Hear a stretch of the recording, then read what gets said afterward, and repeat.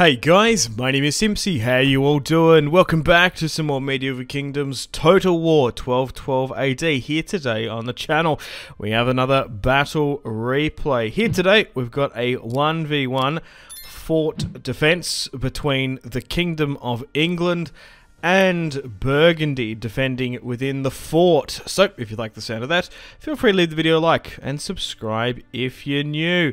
Feel free to join the Discord, linked in the description below as always. And feel free to send me your Total War battle replays.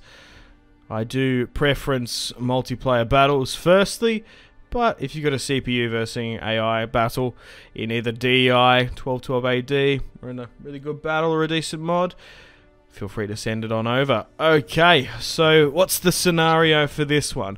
I guess England wants to secure and hold its French holdings in Normandy and Aquitaine, and they've managed to come to they've sort of managed to come to blows with Burgundy. They're both bucking heads, let's say. So the Duchy of Burgundy is defending within the port.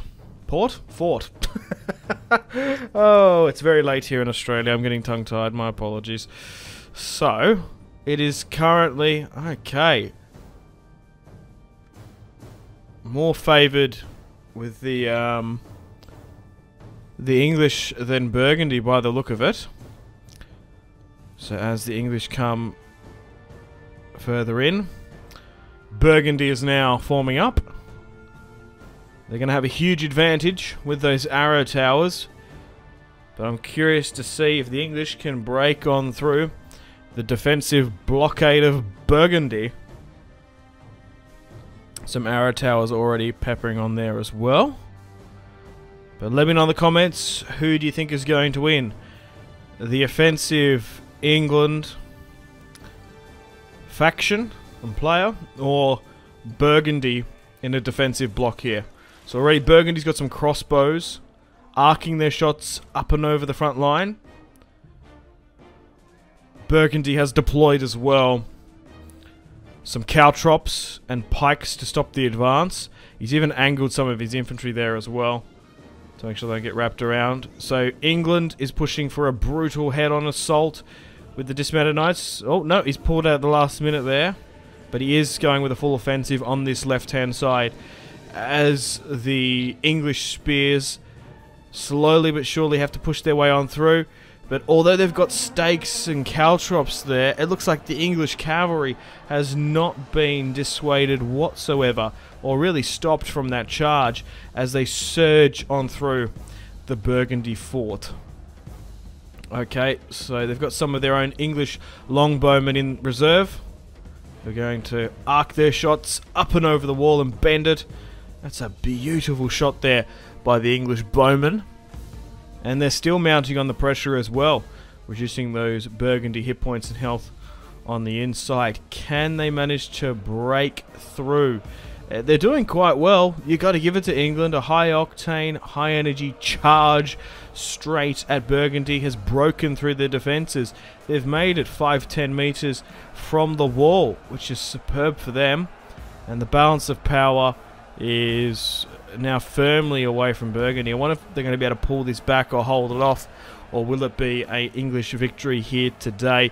You'd think if he can hold just a little bit longer, time will probably be on his side, as he does have arrow towers in support that are still continuing to unload relentlessly rounds at the infantry. However, we've got some Burgundy swordsmen there that are not even looking too fresh against a English cavalry unit and an infantry unit here as well.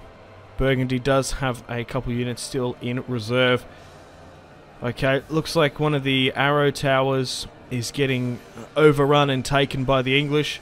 So that's not good. You've really got to protect those as much as you can because they can get at least a kill every couple of like two, three seconds, which is huge, particularly in a fort defense. Burgundy's moving up some axemen there to maybe just try and stop the tower from getting capped and capitulated. So Burgundy is currently burning at the moment. So if they can take this fort, the English, You would imagine most of north, western, and maybe some of central France will fall to the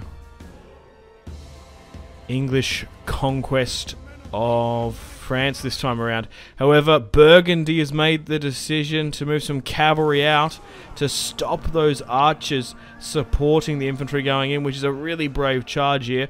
Burgundy has destroyed one. Can he push on and keep on going and get the other three?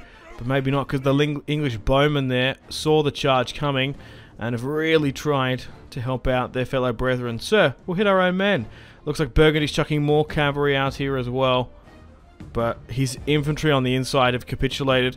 And unfortunately, and a tower has been destroyed as well. And the town square is capping. It might just be a little bit too late for Burgundy to try and rescue this one. The, the ascendancy, the momentum is all with the English, unfortunately, as now they storm and push on in to the town square, or the fort square, rather. Crossbows are going to quickly get some shots loosed off there. Or the bolts, rather. But Burgundy is only holding in a couple crucial areas. And the English just really keep on gaining ground and momentum quite quickly. Good looking battle map as well. Nice blue sky kind of dry here in Burgundy, but looks like the English banner is about to be brought on up as the Burgundy cavalry couldn't even get those three arch units on the outside, and there's only one Burgundy unit remaining now. Three, a couple have recovered, but it looks like Burgundy now are in a full retreat, and that's it. She's all over Red Rover. It's now 90, 95% in favour of the English opposition. So the Kingdom of England look like they're going to win this one without a shadow of a doubt. So pat yourself on the back if you thought England was going to beat up Burgundy. To be fair, England are a major faction.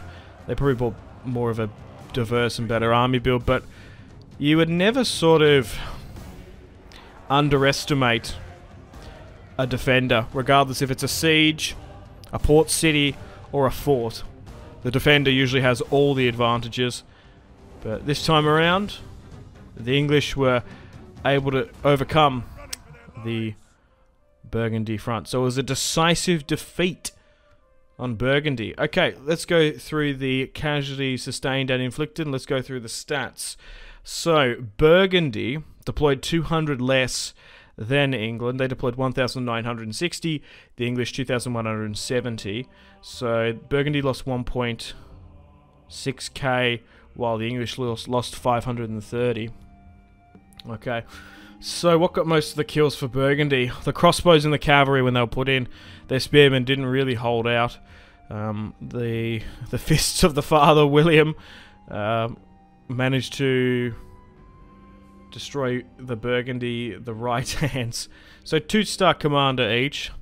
William got 92 kills in his general bodyguard, so he his general bodyguard was put to use rather than Burgundy's. They outnumbered them cavalry-wise, the English, and they had the longbowmen over than the Burgundy crossbows. Infantry-wise, those men-at-arms and dismounted knights were probably the difference, 38-48 there. But to be fair, even the English weaker spearmen outperformed the Burgundy ones which is interesting. But anyway, guys, thank you very much for watching. Hope you've enjoyed this short little fort battle. Stay tuned for more Total War battle replays across all Total Wars. Once again, Discord is linked in the description below if you guys like to submit your battle replays. Of course, there are some rules, so you do have to read that before posting.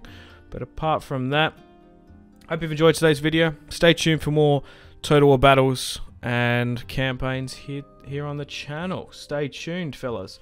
Okay guys, I'm going to play the outro now. Take care.